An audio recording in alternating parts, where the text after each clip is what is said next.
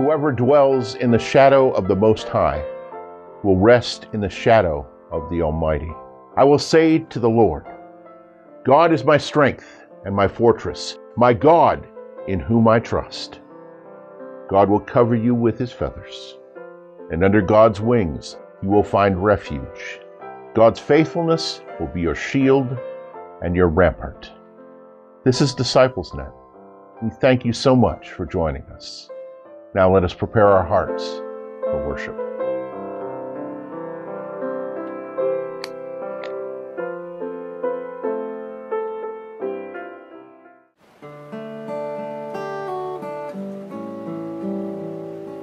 And I will raise you up on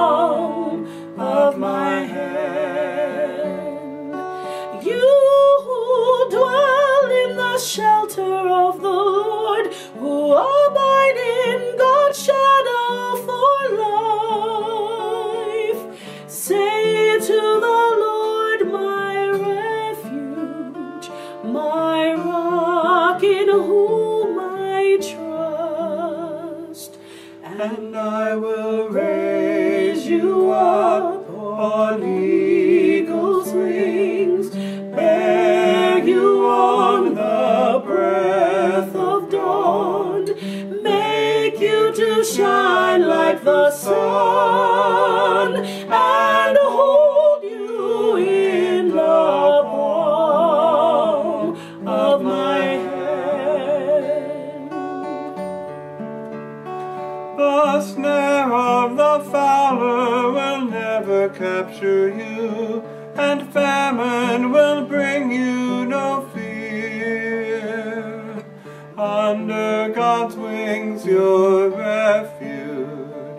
God's faithfulness, your shield.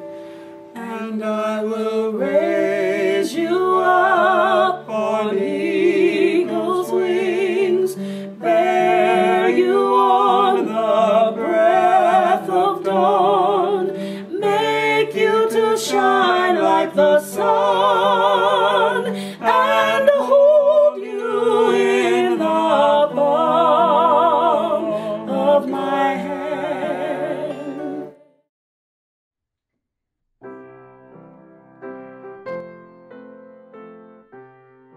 join me today as I come before God in prayer so that we may all be in prayer together?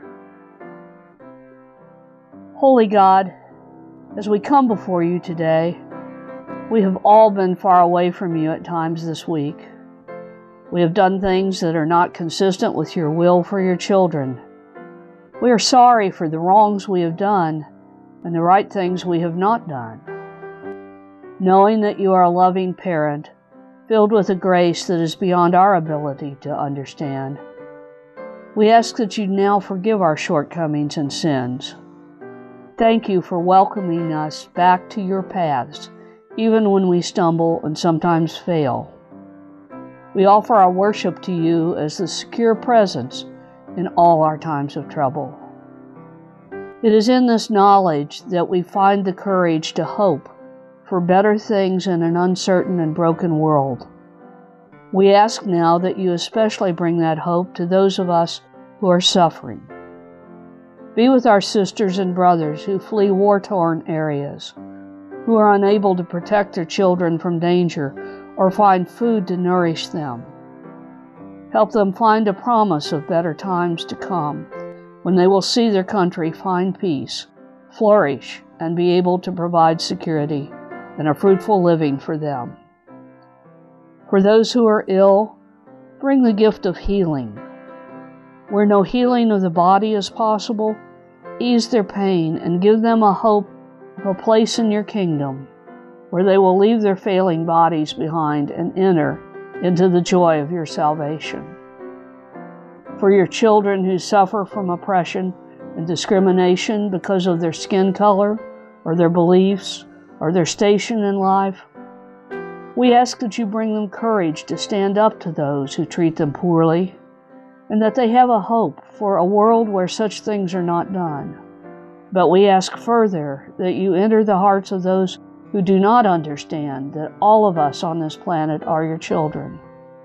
Teach them to see everyone as their brothers and sisters, beloved of you and worthy of their respect.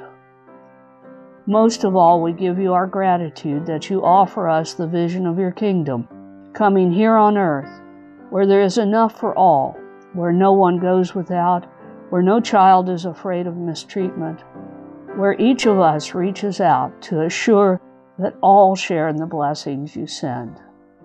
For that hope, that we can be better than we are, we bless you and praise you as our sure presence strong beyond measure and yet always near, gentle and giving us grace upon grace. We offer our prayer in the name of the one who taught us to pray. Our Father, who art, who art in heaven, hallowed be thy name. Thy kingdom come, thy will be done, on earth as it is in heaven. Give us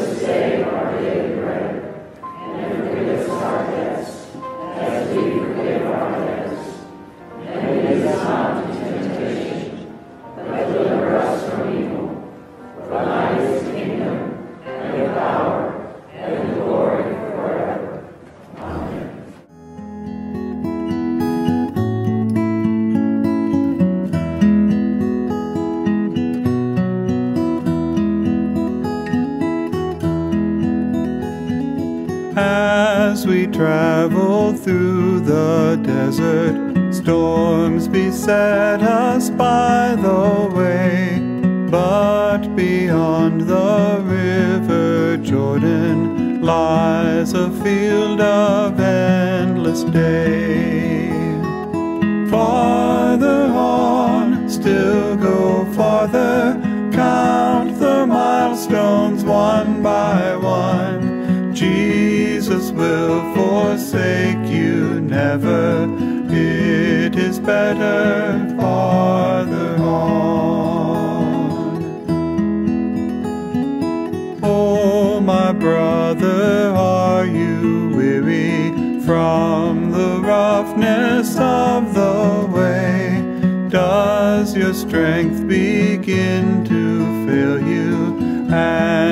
vigor to decay? Farther on, still go farther, count the milestones one by one. Jesus will forsake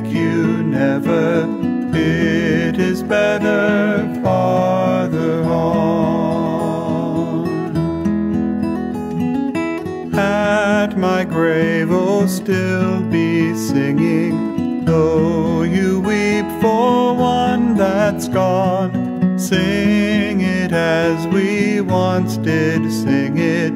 It is better farther on. Farther on, still go farther.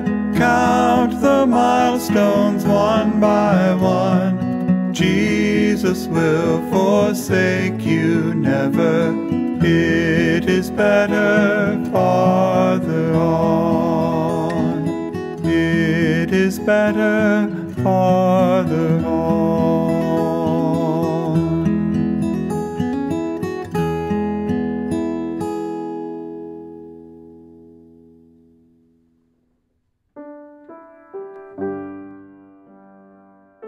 Reading from Jeremiah 32. The word that came to Jeremiah from the Lord in the tenth year of King Zedekiah of Judah, which was the eighteenth year of Nebuchadrezzar. At that time the army of the king of Babylon was besieging Jerusalem. And the prophet Jeremiah was confined in the court of the guard that was in the palace of the king of Judah, where King Zedekiah of Judah had confined him. Jeremiah said, The word of the Lord came to me, Hanamel, son of your uncle Shallum, is going to come to you and say, Buy my field that is at Anathoth, for the right of redemption by purchase is yours.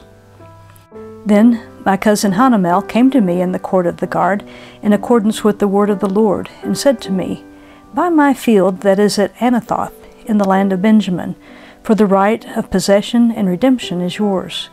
Buy it for yourself. Then I knew that this was the word of the Lord. And I bought the field at Anathoth from my cousin Hanamel, and weighed out the money to him, seventeen shekels of silver. I signed the deed, sealed it, got witnesses, and weighed the money on scales. Then I took the sealed deed of purchase, containing the terms and conditions, and the open copy, and I gave the deed of purchase to Baruch, son of Neriah, son of Maaseiah, in the presence of my cousin Hanamel in the presence of witnesses who signed the deed of purchase, and in the presence of all the Judeans who were sitting in the court of the guard. In their presence I charged Baruch, saying, Thus says the Lord of hosts, the God of Israel Take these deeds, both this sealed deed of purchase and this open deed, and put them in an earthenware jar, in order that they may last for a long time. For thus says the Lord of hosts, the God of Israel houses and fields and vineyards shall again be bought in this land.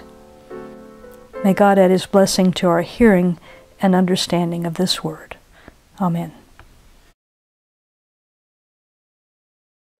I want to preach to you today, but I also want to talk to you just a little bit about preaching as I do that. Sometimes it is easy to preach a sermon with a simple devotional message. Sometimes it is easy to preach a sermon with a message that makes a demand upon people for something that the preacher wants you to do in your life. Sometimes the sermon needs to include a little bit of Bible study in order to make us understand where we are going with the text. And so we've got some of all of that today.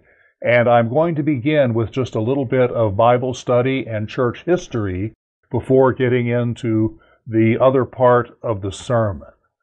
We have a story in today's scripture about Jeremiah the prophet in the nation of Judah buying a piece of property from Hanamel, who is actually his cousin. He's someone in Jeremiah's family.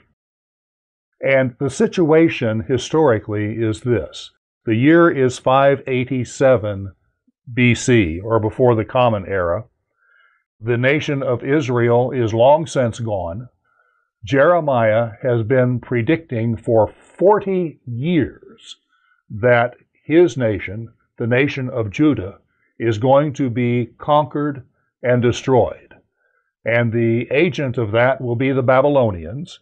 And if you read the text, you see Babylonians and Chaldeans, and those are two words for the same group of people. The king of the Babylonians is Nebuchadnezzar. And this army is literally at the city wall in Jerusalem. Jerusalem is about to fall. And the king Zedekiah is about to be captured and taken hostage or carried away into slavery because Jeremiah has been hostile to the king and has preached this message that destruction will come for all of this time, Jeremiah himself is actually in prison at the time of this particular story. That's enough history for the moment.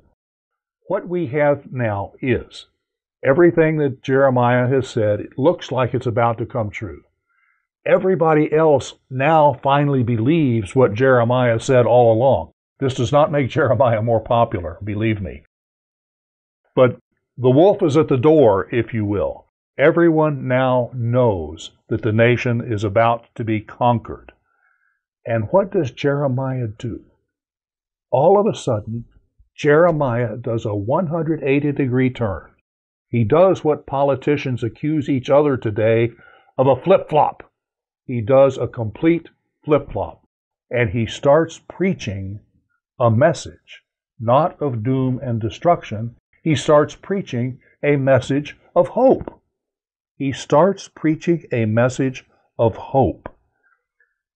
And he wants to show that message of hope. He wants to bear witness to that message of hope by, if you will, putting his money where his mouth is.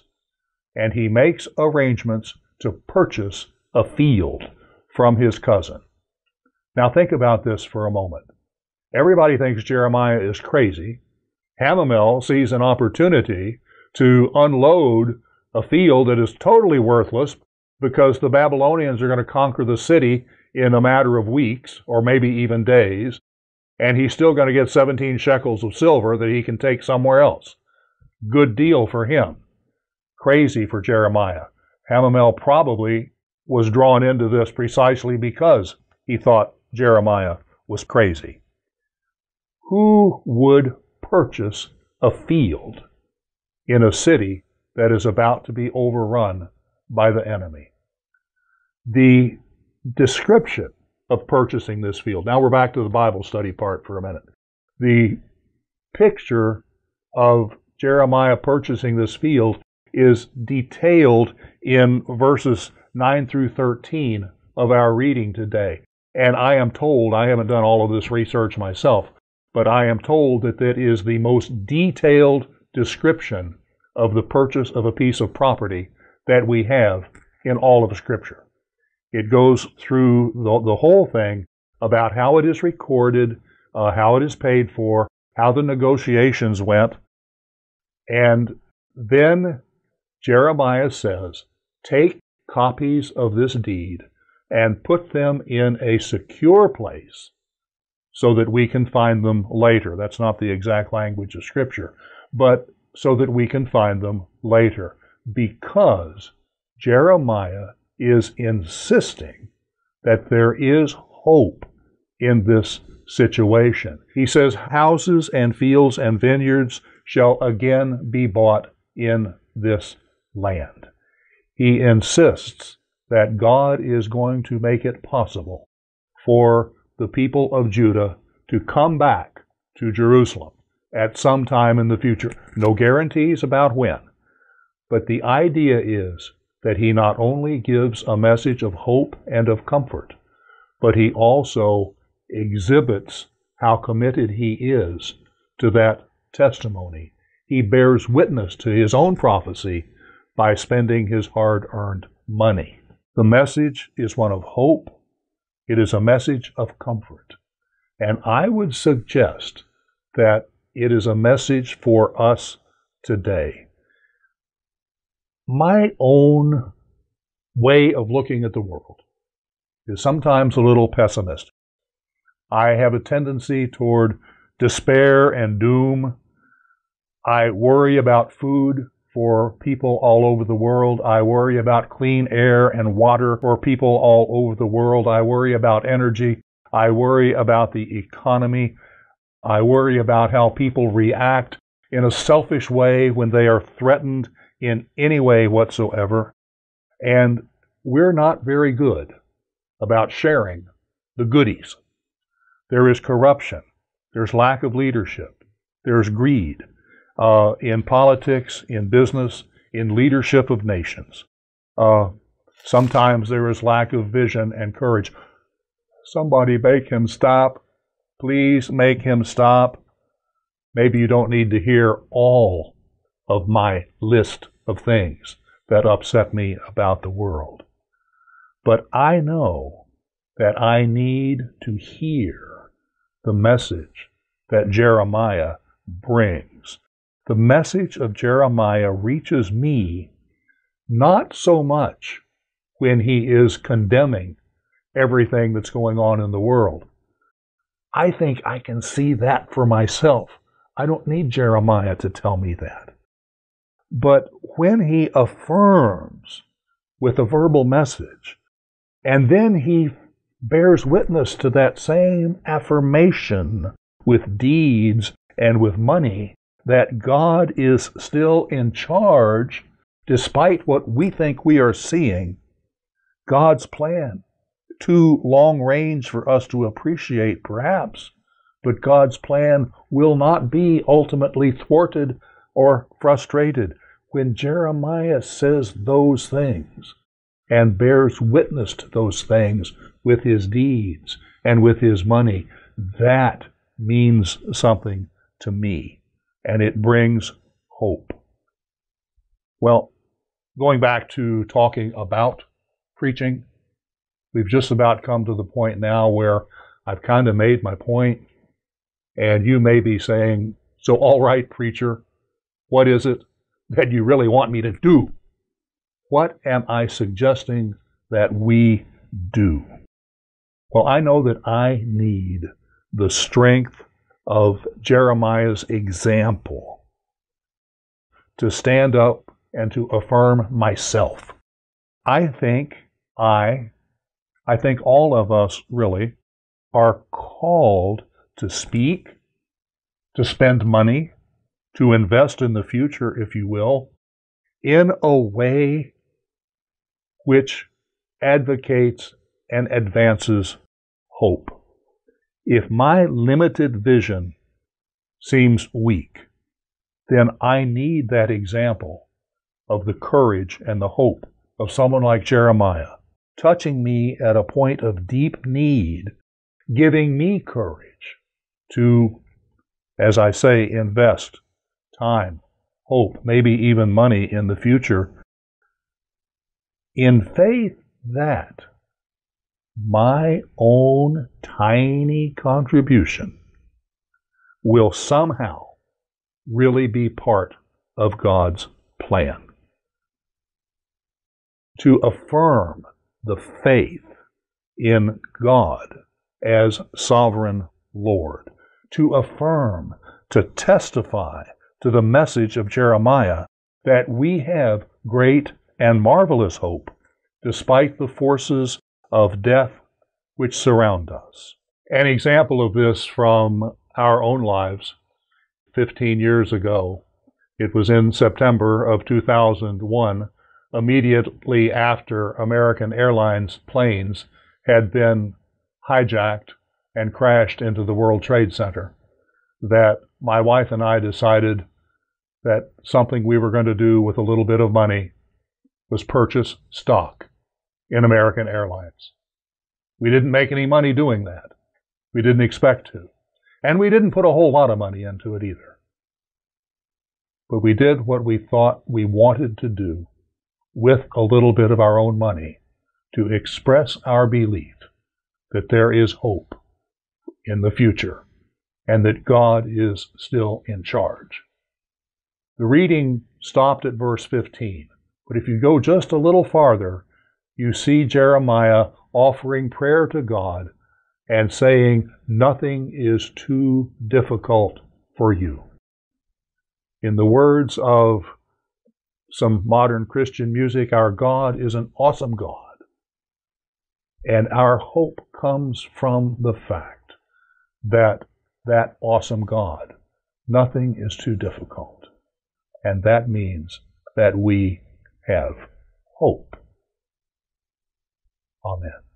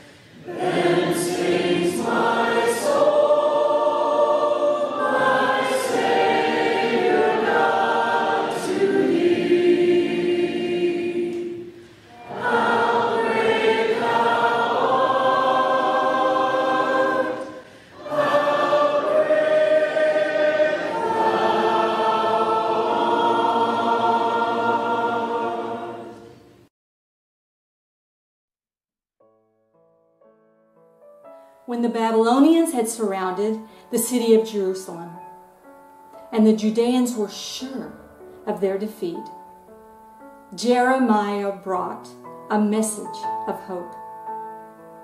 When we feel surrounded by our sorrow and our fears, when we are sure that our troubles will defeat us, we can come to this table for a renewed hope.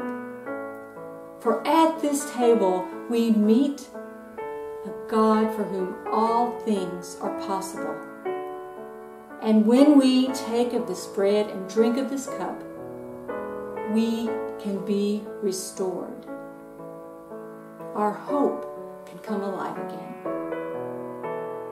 Please pray with me. God, thank you for this, your blessing of your bread and cup. And thank you that we have a table of hope where we may always be welcome to be restored. When we come here, we remember that on the last night that Jesus had with his disciples, he took the bread and he blessed it and he broke it. And he said, This is my body broken for you. Whenever you do this, remember me.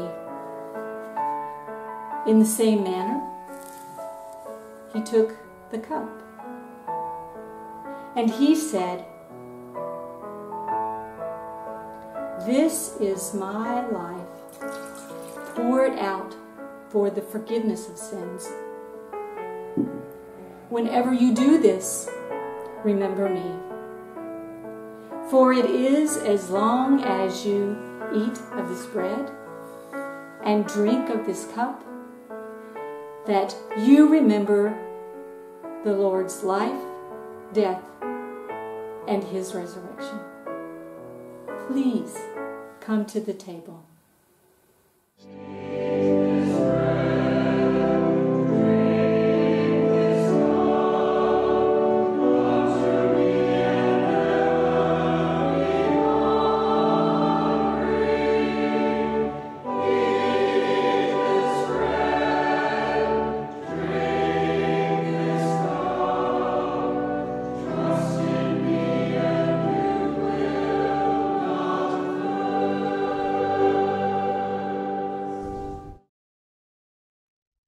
In faith that our God is so great that nothing is too difficult, in hope that you and I can have a small part in advancing the plan of that God whom we love.